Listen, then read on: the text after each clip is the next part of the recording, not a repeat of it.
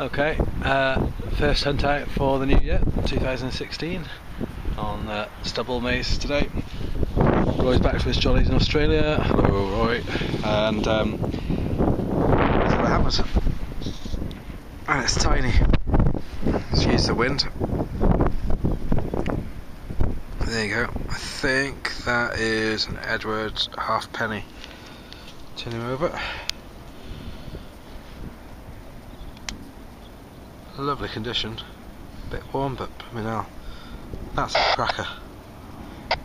That, just for perspective, is on the end of my little finger, and it's tiny. But what a great start to the year. Well done, Roy. Alright, we'll get an idea off that, but I'm pretty sure it's an Edwards half penny. Lovely. Okay, come back to you in a bit.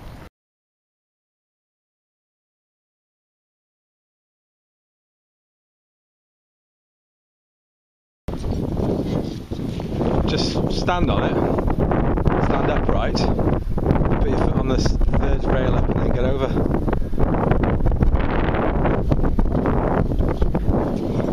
Right, put two feet on there, one foot on the next one up as well. Yeah, you can.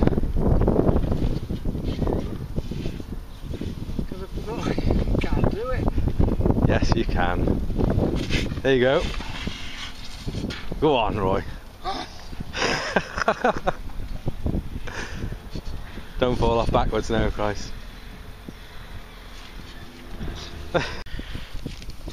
right, Roy's just walked over and um, produced that. Made of bronze. Um, neither of us are sure if it's a flat axe or Bronze Age axe head or not. No socket on the end, but um, you never know. But you look at the taper on the end there, certainly looks like it's been sharpened, but uh, so not sure really. Could be. If it is, fantastic find. But um, we'll, um, we'll have to get an idea on that and see what um, see what we make of it. I'll put it in the strap for me. yeah, put it in the scrap bin. No, don't do that.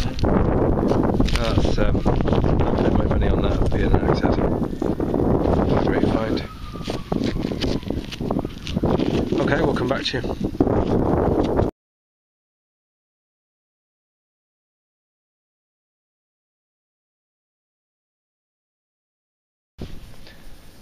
Right, out on my own today. Lovely sunny day. Uh, a bit cold, but um, just going up and down these maize rows. Roy's not with me today. He's uh, torn ligament in his knee. He's got cabin fever and it's like a caged bear. So uh, I'm sure any well wishes will be greatly received. Um, anyway, first signal is musket ball. Okay, had a few nice bits off this field, so you never know. Make the most of it before it gets ploughed. Right, we'll come back to you if we get anything else. Right, guys, just come up the uh, maize row here. Uh, got a pretty good 1140. Literally just on the surface there. I think, well, I hope, it might be my first silver coin of 2016.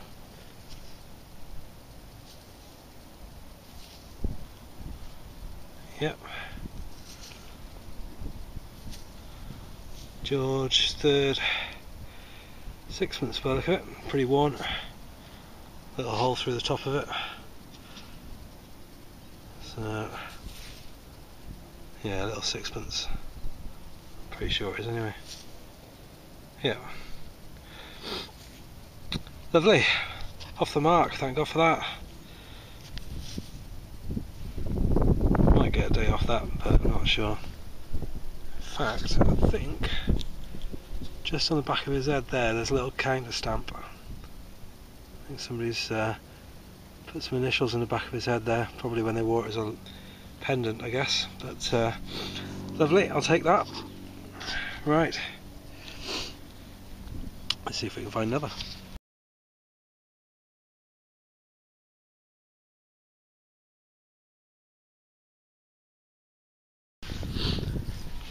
Right guys, it's uh, still on this Maysfield. Been here about two hours now. Um, I think Have just got another silver. Gave a funny signal. Yeah. Little George Fifth. Sixpence. What's the date on that? 1929, which explains the funny signal. um, came up with a 12.29, 12.30, so. Okay, it's another silver, 50%, but I'll take it. Okay, number two for the year. Lovely.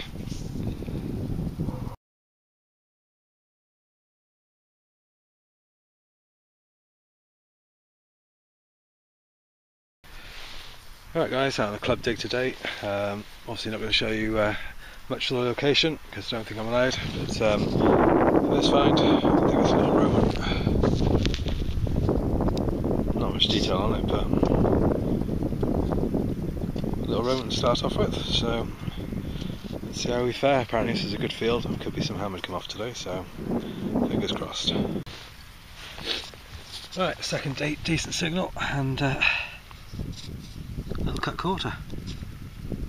Happy about that. First hammered of 2016. Not much detail on it, but it's still a cut quarter. Take that. And guess what I'm using today? The T2.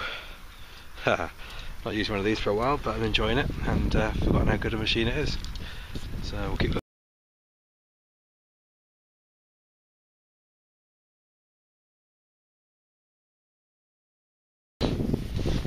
Right, just got another signal.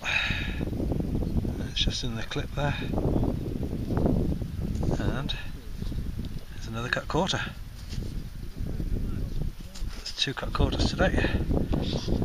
Not bad. I'll take that.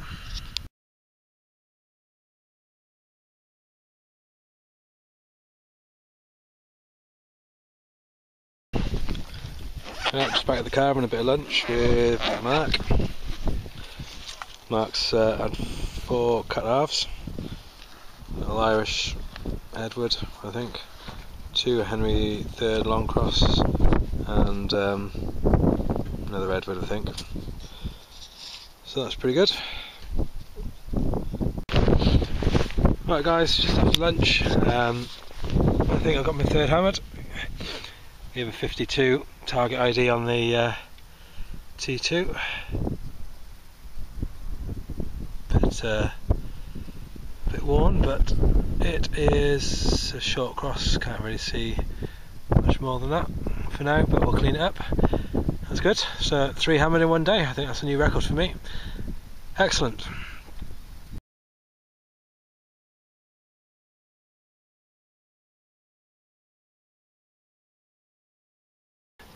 Right, welcome back guys. Um, fields are starting to be ploughed, which is good news. Um, so we've got a little window for the next couple of weeks where we can get on uh, a nice bit of flat rolled drilled fields. Um, just hope the weather keeps off because the weather's been dreadful the last couple of weeks.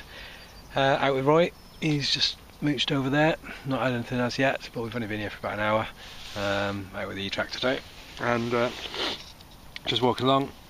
I saw it before the coil went over it, but just a little surface find there. Looks like it might be a silver coin. So let's have a little look. Yeah, little Vicky sixpence, worn smooth. Nothing on that side, but just make out Victoria bust on the back. Oh, that's a silver. So that's uh, silver number six for the year. I'll take it. Okay, let's keep going. Right, next signal, and that was deep. It gave a very faint reading. It was about 11:46, 12:42, something like that. But it was faint, and I just thought, well, probably a deep tin can. But you can see there, that's the level of the pinpointer. So it's a good 14 inches down. Anyway, just got another scoop out, and. Uh, there it is there lying there so I haven't looked at it but I think by the look of that it might be a half crown George Fifth yeah half crown lovely That's a nice find. Uh, see if I can see the date on it. 1923, I think. Camera won't focus. No. 1923. Yeah, definitely. So 50% for silver. Not full silver, but I'll still take it. Nice find. Okay, another silver. Right, guys, just a little find there. Had a quick look at it. Um, thought I'd film it because it does look a bit unusual. It looks like, well, it looks like a duck wearing a motorbike helmet, but um, I don't think it is. Uh, it's a mount off something. Um, not sure. Not sure on that one, but thought I'd record it because I have had uh, Roman brooch kind of around about there, and another one from over about there. So you never know, could be Roman, might be nothing. But uh, if it is something, at least we've got it on film. So we shall see.